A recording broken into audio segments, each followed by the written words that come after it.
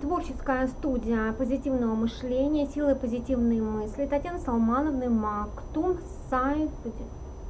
Читаю аффирмации из книжечки Натальи Правдиной «Азбука успеха от А до Я». Общение с деньгами приносит мне радость. Я нахожу радость в каждом мгновении моей жизни.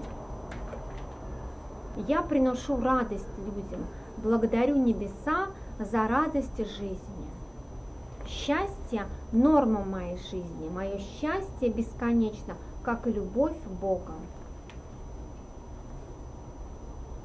Я благодарю Творца за счастье жизни. Я привлекаю в свою жизнь радость, общение и дружбы. Я упиваюсь каждой минутой своей жизни. Я легко и радостно изменяю свою жизнь в лучшую сторону. Я притягиваю в свою жизнь радостные события и приятных людей.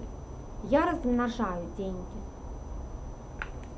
В моем гранд-ресторане, на моей кухне я готовлю себе такой ужин, как в Париже, Наверное, здесь, в принципе, немножко нужно утеплиться. Честно говоря, я накинула на мое такое эксклюзивное платье, шубку.